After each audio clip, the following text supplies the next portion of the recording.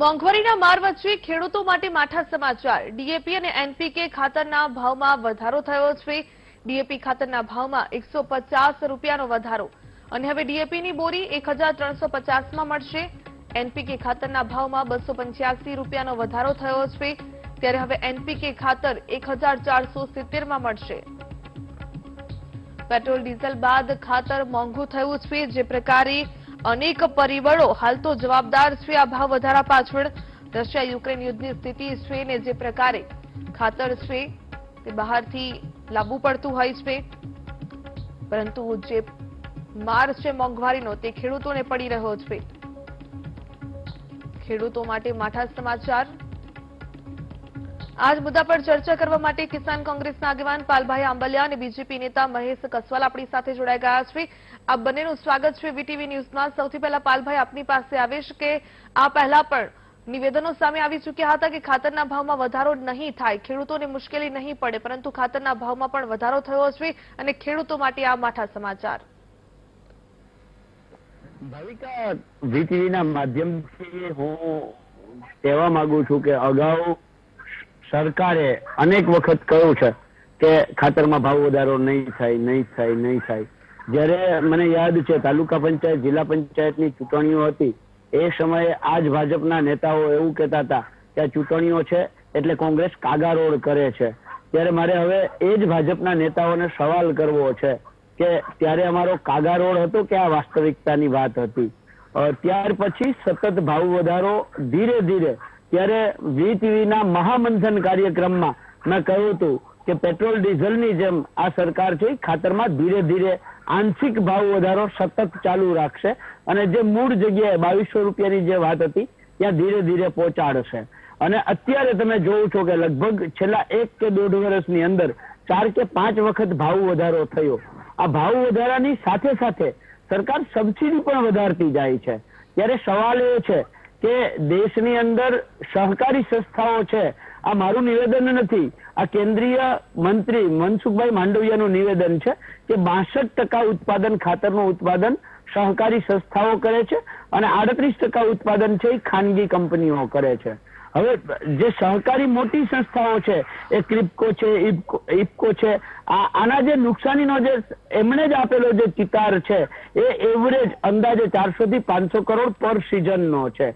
એટલે માની લો કે એક સંસ્થાને ચારસો થી પાંચસો કરોડ પર સિઝન નુકસાન થતું હોય, તો ચાર સંસ્થાઓનું ત્રણ સિઝન, એટલે કે ત્રણ સિઝનમાં એક સંસ્થાને પંદરસો કરોડનું નુકસાન થાય. એ મુજબ ચાર સંસ્થાનો તમે હિસાબ કરો, તો પંદર ચોકુને સાઠ, છ હજાર કરોડનું નુકસાન થાય. આ છ હજાર કરોડની સામે મૂળ એકોતેર હજારની જે વાર્ષિક સબસિડી હતી એ એ ઉપરાંત પેલા ચૌદ હજાર સાતસો પચાસ, પછી અઠ્યાવીસ હજાર છસો પચાસ અને હમણાં રશિયા યુક્રેનને આગળ કરી અને ફરીથી એક સબસિડી આપવામાં આવી છે. આમ કરી અને ટોટલ જે સબસિડીનો ગાળો છે, એ સબસિડીનો ગાળો લગભગ એક લાખ પચીસ હજારથી ત્રીસ હજાર કરોડની આસપાસ આપી દીધો છે.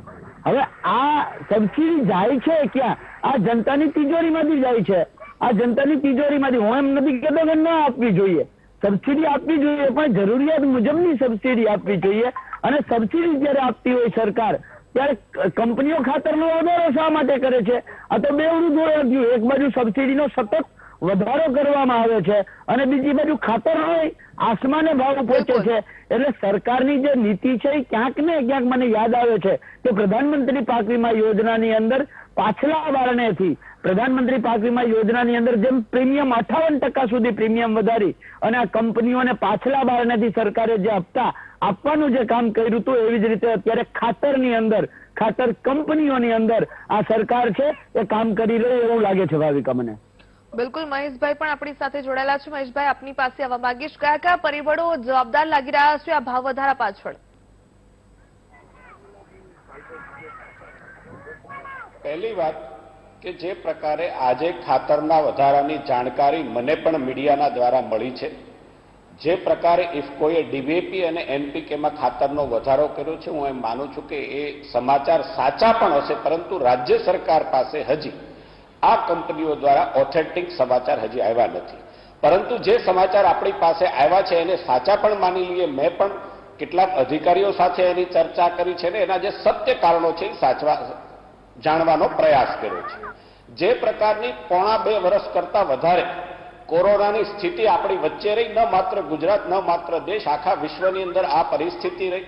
અને એના પછી જે છેલ્લા દોઢ મહિનાથી રશિયા અને યુક્રેન વચ્ચે જે પ્રકારની સ્થિતિ સર્જાણી છે ને એના પ્ર- પ્રમાણે આંતરરાષ્ટ્રીય કક્ષાએ જે પ્રકારે ક્રૂડ, પેટ્રોલ અને બાકીની પ્રોડક્ટની સોલ્ટેજની સાથે જે ભાવ વધારો વધ્યો છે, એ હું એમ માનું છું કે એક સામાન્ય માણસ સમજી શકે એવા પ્રકારના કારણો છે. રાસાયણિક કારણોમાં રો મટીરિયલની સોલ્ટેજ અને આંતરરાષ્ટ્રીય સ્થિતિના કારણે જે વધારો થયો છે, એના કારણે આ વધારો થયો છે. વાતને મારે પણ માનવી પડે. મારે ખેડૂતો જ્યાં વીટીવીના માધ્યમથી ખેડૂતો પાસે કોઈ વધારાનો બચાવ નથી કરવાનો.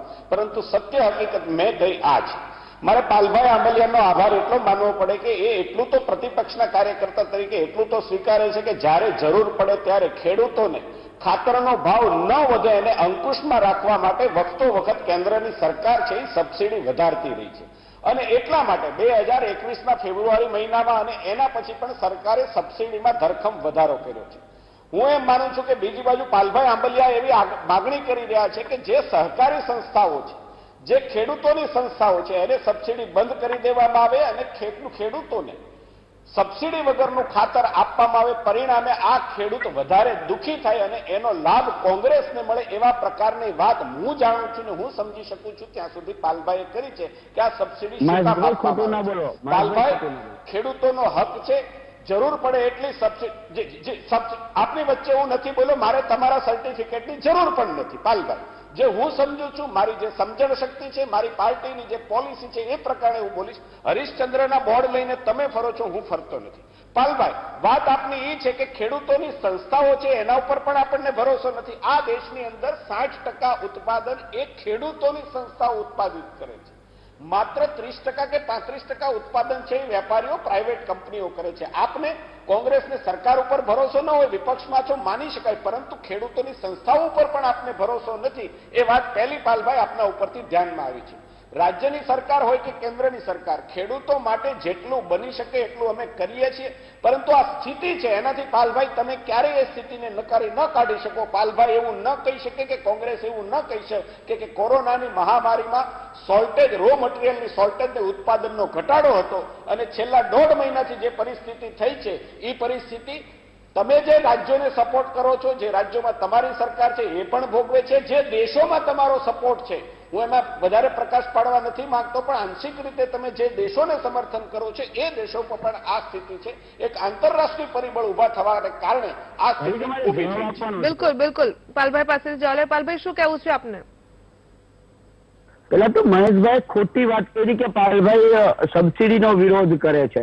ભાવી તો મહેશભાઈ વાતને ખોટી રીતે ડિસઇન્ટરેટ કરે છે. મારો કહેવાનો અર્થ એ હતો કે એક બાજુ સબસિડી આપીએ છીએ અને બીજી બાજુ ભાવે વધારે છે. જો સબસિડી આપતા હોઈએ તો મહેશભાઈ ભાવ ન વધવો જોઈએ. મહેશભાઈ જે આખી આખી પરિસ્થિતિનું વર્ણન કર્યું, બે હજાર આઠ નવની અંદર વૈશ્વિક મહામંદીના સમયની અંદર પણ પરિસ્થિતિ દેશ સારી રીતે ટકી ગયો. ત્યારે ખેડૂતોને ખાતરનો ભાવ વધારાનો માર નથી સહન કરવો પડ્યો. આંતરરાષ્ટ્રીય ક્રૂડ ઓઇલની મહેશભાઈએ વાત કરી. બે હજાર ચૌદ, બે હજાર બારથી ચૌદની વચ્ચે મહેશભાઈ, અત્યારે જે આંતરરાષ્ટ્રીય ક્રૂડ એક બેરલનો જે ડોલરનો ભાવ છે, આના કરતા ડબલ ભાવ ત્યારે હતો. ત્યારે ખાતરની પરિસ્થિતિ શું હતી? ત્યારે ખાતરનો ભાવ શું હતો? એ આંતરરાષ્ટ્રીય તમે જે માર્કેટની વાત કરો છો, તો આંતરરાષ્ટ્રીય માર્કેટમાં ત્યારે આનાથી ડબલ ભાવ હતો. રો મટીરિયલનો ડબલ ભાવ હતો. તેમ છતાંય ખેડૂતોને આનાથી અડધા ભાવે ખાતર મળતું હતું. એટલે પરિસ્થિતિ નહીં દુહાઈઓ દઈ અને દરેક વખતે જે ભાજપની બચવાની જે પદ્ધતિ છે કે આપત્તિ આવે, આફત આવે, આફતને અવસરમાં કેમ ફેરવવું, એ જે ભાજપની પદ્ધતિ છે, આ અમારા સંસ્કાર નથી, તમારા સંસ્કાર છે. તમારે હરિશ્ચંદ્રનું કોઈ સર્ટિફિકેટ તમને આપવું નથી. અને તમને કોઈ આપતું હોય તો મને વાંધો નથી, મહેશભાઈ. બરાબર છે? પણ મૂળ વાત જે છે, એ મૂળ વાત એ છે કે અમે ખેડૂત છીએ મહેશભાઈ. સરકાર શું કરે છે? આંતરરાષ્ટ્રીય લેબર શું તકલીફ છે? ક્યાં ક્યાં પરિસ્થિતિઓ છે? એના કરતા એક ખેડૂત તરીકે મને એટલી ખબર પડે છે કે અમારા રોટલાથી મતલબ છે, ટપાકા વાગે કે ન વાગે મહેશભાઈ? એનાથી અમને કોઈ મતલબ નથી. અમને ખાતર અત્યારે એકસો પચાસ રૂપિયા એક થેલીએ માંગવું પડ્યું છે. અમને ખાતર અત્યારે બસો ને પંચ્યાસી રૂપિયાએ મોંઘું પડ્યું છે. આવું એટલા માટે તમને મહેશભાઈ કહું છું કે અમે જયારે હોશિયાર થઈ અને જ્યારે આંતરરાષ્ટ્રીય વાત કરીએ, ત્યારે તમે એમ કહો છો કે તમને વાંધો છે? જ્યારે આમાં હોશિયાર થઈ અને સબસિડીની વાત કરીએ છીએ, ત્યારે એમ કહો છો કે તમને વાંધો છે? એટલે હું બધું જ સાઈડમાં મૂકી અને ખેડૂતના દીકરા તરીકે ખેડૂત થઈને મારી વાત કરું છું કે અમને રોટલો, અમારે રોટલાથી મતલબ છે, ટપાકાથી મતલબ નથી મહેશભાઈ અમને દોઢસો રૂપિયા તમે વધાર્યા છે. બસો ને પંચ્યાસી રૂપિયા તમે વધારેલા છે. આ વધારો પાછો ખેંચી લ્યો. અને સૌથી મોટી વાત મહેશભાઈ જે તમે શરૂઆતમાં કરી કે ખાતરમાં ભાવ વધારો થયો એ સરકારને ખબર જ નથી. એનો અર્થ એવો કે કંપનીઓ મનમાની કરે છે. સરકારના અંકુશમાં કંપનીઓ નથી. અને સરકાર એની રીતે વધારી દે છે. અને સરકાર તો કુંભકર્ણીની નિંદામાં શું છૂટી નથી મહેશભાઈ સ્વીકાર્યું છે આ વાત? બિલકુલ બિલકુલ પાલભાઈ મહેશભાઈ પાસે જવાબ લઈએ. વાત કરો છો તમે પાલભાઈ. મહેશભાઈ, ચોક્કસપણે ખાતરનો ભાવ વધ્યો છે, અનેક પરિબળો જવાબદાર છે, પરંતુ ખેડૂતોને ક્યાંક તકલીફ પડી રહી છે, તેનું તો કોઈ સમાધાન હશે ને? તેનું કોઈ નિરાકરણ લાવી શકાય? બહુ સાચું બહુ સાચું. હું હું એમ માનું છું કે પાલભાઈ પાલભાઈ સાચી વાત સમજી શકે છે પરંતુ પોલિટિકલી રીતે હમણાં ચૂંટણીઓ પણ આવે છે એટલા માટે ખેડૂતને ઉશ્કેરવાનું જે એમની જૂની ટેવ છે ચાલુ રાખશે એઝ અ બાકી સામાન્ય માણસ આ પરિસ્થિતિને સમજી શકે. પાલભાઈએ વાત કરી બે એક મિનિટ એક મિનિટ એક મિનિટ. પાલભાઈ હું વચ્ચે ક્યાંય બોલ્યો છું? તો સાંભળવાની તૈયારી રાખો બીજી વાત આપણે બે હજાર સાતની વાત મને ખ્યાલ છે. બે એક મિનિટ એક મિનિટ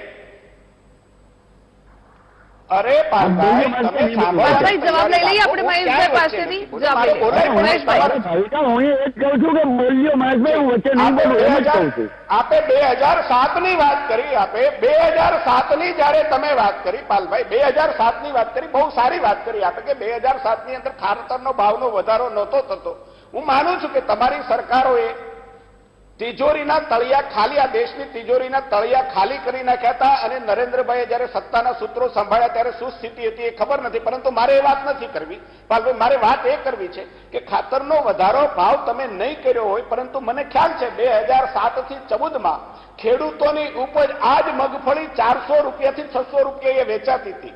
આજ કપાસ છે આઠસો રૂપિયાની અંદર વેચાતો હતો. આજ બાજરો છે એ દોઢસો રૂપિયે વેચાતો હતો, ઘઉં છે એ અઢીસો રૂપિયે વેચાતા હતા. એની ઉપર કેમ તમારું ધ્યાન નથી જતું? આજે કપાસ છે એ ચોવીસો રૂપિયે વેચાય છે. આજે મગફળી છે એ ચૌદસો રૂપિયે વેચાય છે. આજે ઘઉંના છસો રૂપિયા ભાવ છે. આજે બાજરી અને જુવારના શું ભાવ છે? આજે ચણાની મબલક ખરીદી ભારતીય જનતા પાર્ટીની સરકારો ખેડૂતો પાસેથી ખરીદે છે. કહેવાનો મતલબ મારો એ છે કે તમે ભાવ વધારો નહોતા કરતા, પરંતુ ખેડૂતોને કાંઈ આપતા નહોતા. એ વાસ્તવિકતા આ ખેડૂતોએ સ્વીકારી છે અને એટલા માટે જ આપવાનો છે. ભારતીય જનતા પાર્ટીને આશીર્વાદ જનતા આપે છે ને એનું મોટું પ્રમાણ છે તમારા જુઠ્ઠાણા જે તમારા જે જુઠ્ઠાણા છે બનાવટી કારણો ઊભા કરવા ખેડૂતોને ઉશ્કેરવા અને નાટકો મહેશભાઈ, પક્ષાપક્ષીથી ઉપર જઈને ખેડૂતોની સંવેદના, અને ખરેખર સચવાય તે પ્રકારે વાત કરીએ. એટલા માટે એટલા માટે ખેડૂતોની સંવેદનાને ખેડૂતોની સંવેદનાને સમજીએ છીએ અને એટલા માટે પ્રમાણિકપણે કેન્દ્રની સરકારે આજે પણ તમે ગઈકાલના સમાચાર જોયા હશો કે મબલખ ડાંગરની ખરીદી આઝાદ હિન્દુસ્તાનના ઇતિહાસમાં ટેકાના ભાવે ન ખરીદી એટલી પ્રમાણિકપણે કોઈ સરકાર ખરીદતી હોય તો એ ભારતીય જનતા પાર્ટીની સરકાર ખરીદે છે. ભાવો તમારી વખતે ક્યાં હતા? એની સ્થિતિનું મૂલ્યાંકન આપણે કરવું જોઈએ. ન માત્ર ખાતર ખાતર સ્થિતિ એક જ આપણી પાસે મુદ્દો નથી. ખાતર સિવાયના અનેક એવા પરિબળો છે કે જેમાં ભારતીય જનતા પાર્ટી હંમેશા ખેડૂતોની વહારે ઊભી રહી છે. બિલકુલ બિલકુલ. પાલભાઈ શું કહેવા માંગી રહ્યા છો? મહેશભાઈ પહેલા તો કહ્યું કે તમે તિજોરીના તળિયા જાટક કરી નાખ્યા હતા. મહેશભાઈ અમે તિજોરી માની લ્યો કે જાટક કરી હતી. તો એક પણ સહકારી કે સરકારી સંસ્થા વેચી નહોતી. તમે તો સંસ્થાઓ વેચવાનો મારો ચાલુ કરી દીધો છે. બીજી વાત તમે કહી કે ત્યારે ખાતર શું કહેવાય, મગફળીનો આટલો ભાવ હતો. મગફળીનો મહેશભાઈ તમે તો કોઈ દિવસ મારી જેમ વેચવા જતા ના હો તમારા અમરેલીમાં કાકા મામા માસા જે કોઈ પૂછજો. મગફળી ત્યારે બારસો થી તેરસો રૂપિયા હતી. કપાસ ત્યારે ચૌદસો થી પંદરસો રૂપિયા હતા મહેશભાઈ. અને અત્યારે આ વર્ષની તમે વાત કરો છો. મહેશભાઈ સારા શ્રોતા મહેશભાઈ સારા શ્રોતા બનો. મહેશભાઈ સારા વક્તાની સાથે સારા શ્રોતા બનો. મહેશભાઈ સારા શ્રોતા સાંભળો. મહેશભાઈ સાંભળો હવે સાંભળો મહેશભાઈ સાંભળો. આવી રીતે ભાઈ બંધ કરાવો. હજી હું કઉ છું આપને કે પરિવાર આપણે કોઈ વ્યક્તિગત ટિપ્પણી ન કરીએ પાલભાઈ? વ્યક્તિગત ના છે પાલભાઈ. હું પાલભાઈ. અને પરિવાર પણ પણ ના છે પાલભાઈ ડિબેટ હું પણ કરું છું. તમે જ કરો છો તમારી બિલકુલ કોઈ પરિવાર કે વ્યક્તિ ઉપર નહીં ખેડૂતો પર આપણે ચર્ચા કરીએ એ વધુ સારું રહેશે. એ રીતે ચર્ચા કરીએ. બિલકુલ પાલભાઈ. વાત કરું વાત કરું મહેશભાઈ? એટલે વ્યક્તિગત ટિપ્પણી નહોતી મહેશભાઈ મારો કહેવાનો અર્થ એ હતો કે વાસ્તવિકતા ભાવ ત્યારે ખબર પડે. ગયા વર્ષના તમે કપાસના ભાવ છસો રૂપિયા કેમ ભૂલી જાઓ છો? ગયા વર્ષે મગફળી આઠસો રૂપિયા હતા એ તમે કેમ ભૂલી જાઓ છો? આ વર્ષે ઉત્પાદન અર્થશાસ્ત્રનો નિયમ છે મહેશભાઈ. આમાં સરકારનો કોઈ એક ટકાનો ફાળો નથી. અર્થશાસ્ત્રનો નિયમ છે. ઉત્પાદન ઘટે એટલે ઓટોમેટિકલી ભાવ વધે. આ વખતે મગફળીનું ઉત્પાદન ઘટ્યું છે. કમોસમી વરસાદના કારણે. મહેશભાઈ વચ્ચે નથી બોલ્યો. ભાવિકા ડિસ્ટર્બ કરે છે મહેશભાઈ ખોટી રીતે. ઉત્પાદન ઘટે એટલે ભાવ વધે ને એના ભાગરૂપે કપાસના ભાવ વધ્યા છે. એના ભાવ, એના ભાગરૂપે જીરાનો ભાવ વધ્યો છે. એના ભાગરૂપે મગફળીનો ભાવ વધ્યો છે. અને ક્યારે વધ્યો છે? કારણ ખેડૂતના ઘરમાં કપાસ ના રહ્યો ત્યારે.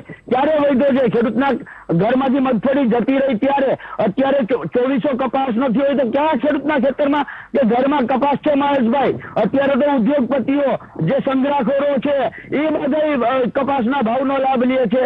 એ બધા મગફળીના ભાવનો લાભ લે છે. અને હું તો કહું કે મગફળીનો ભાવ હવે બે મહિના પછી આ ચોવીસો વાળો ચોત્રીસો થશે. કારણ કે ખેડૂતને બિયારણની જરૂર પડવાની છે. અને જ્યારે બિયારણનો ભાવ જરૂર છે ત્યારે તમે ભાવ વધારો થવા દેશો. છૂટો હાથ મૂકી દેશો છૂટો દોર મૂકી દેશો. આમાં તમે કયા મોઢે તમારી પોતાના ખુદના આત્મશ્રદ્ધા કરો છો મહેશભાઈ? બિલકુલ બિલકુલ. મહેશભાઈ પાસેથી જવાબ લઈ લે. મહેશભાઈ શું કહેશો? ક્યાંક આક્ષેપો તો થઈ રહ્યા છે. જી જી જી. બહુ સાચી વાત છે. પાલભાઈએ જે વાત કરી કે કોઈ પણ વસ્તુની તંગી સર્જાય અને ઉત્પાદન ઓછું આવે એટલે ભાવ વધે તો શું આ ખાલી કપાસમાં જ લાગુ પડે કે ખાતરમાં પણ આ લાગુ પડે પાલભાઈ? આ પાલભાઈએ જ એનો જવાબ આપ્યો. અને એટલા માટે મેં પહેલા કહ્યું પાલભાઈ આ સમજો તમે આપેલો સિદ્ધાંત જ તમને સમજાવું છું કે ખાતરનું ઉત્પાદન છેલ્લા ત્રણ વર્ષમાં આંતરરાષ્ટ્રીય સ્તરે પણ ઘટ્યું છે. ફોસ્ફરસ જેવી મૂળ જે રો મટીરિયલ છે એની તંગી અને એના ઉત્પાદનને કારણે આંતરરાષ્ટ્રીય બજારમાં યુદ્ધ જેવી સ્થિતિને કારણે આ ઉત્પાદન ઘટવાને કારણે ભાવ વધારો થયો છે આ વાત કેમ માનતા નથી તમે આ તમારું જ તમારું આપો. બિલકુલ, મારી પાસે સમયનો અભાવ છે. પાલભાઈ, ટૂંકમાં જવાબ આપશો. એટલા માટે એટલા માટે આ વાતને મહેશભાઈ સાંભળો મહેશભાઈ સાંભળો મહેશભાઈ સાંભળો બે હજાર કેન્દ્ર સહકારી સંસ્થાઓ છે સહકારી સંસ્થાઓ પાસે ચાલીસ ટકા ઉત્પાદનનો ઘટાડો કરાવડાવ્યો છે. ખાનગી કંપનીઓને ડેવલપ કરવા માટે સરકારી સંસ્થાઓમાં ચાલીસ ટકા ઉત્પાદનનો જે ઘટાડો કરાવડાવ્યો છે, એના કારણે આ જે ઉત્પાદનની જે ઘટ ઊભી થાય છે અને એના કારણે જે સિદ્ધાંત મને સમજાવો છો આ તમે સરકારને સમજાવો ચાલીસ ટકા સરકારી સંસ્થાઓ પાસેથી સરકારની સંસ્થાઓ પાસેથી ચાલીસ ટકા ઉત્પાદન શા માટે બિલકુલ, મહેશભાઈ અને પાલભાઈ ઘટાડ્યું ક્યાંક પક્ષાપક્ષીથી ઉપર આવીને ખેડૂતોની સંવેદના અને જે ભાવ વધારો થયો છે તેમને સૌથી વધુ મુશ્કેલી પડવાની છે. તેનું કોઈ સમાધાન આવે નિરાકરણ આવે તેવા પ્રયાસો આપ બંને કરશો તેવું ઈચ્છું છું. આપ બંને અમારી સાથે જોડાયા તે બદલ આપનો ખૂબ ખૂબ ધન્યવાદ.